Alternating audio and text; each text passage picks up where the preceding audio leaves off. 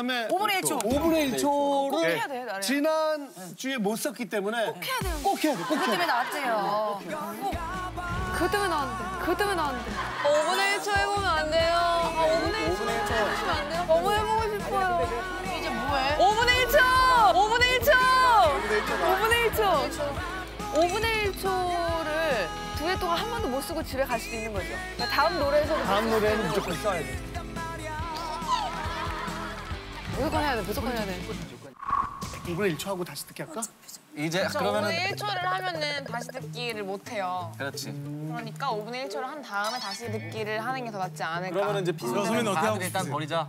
아, 왜 심상하는데.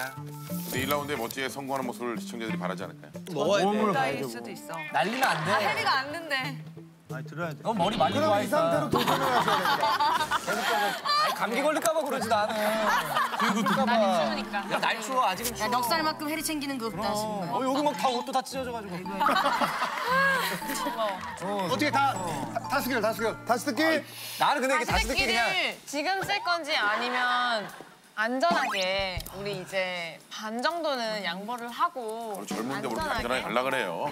안전하게 이제 5분의 1초를 쓴 다음에 다시 듣기를 못 쓰니까 5분의 1초를 쓴 다음에 다시 듣기를 쓸 건지 아니면 아니면 지금 다시 듣기를 써서 3라운드까지 갈 수도 있는데 지금 쓸 건지 말투가 너무 다르잖아.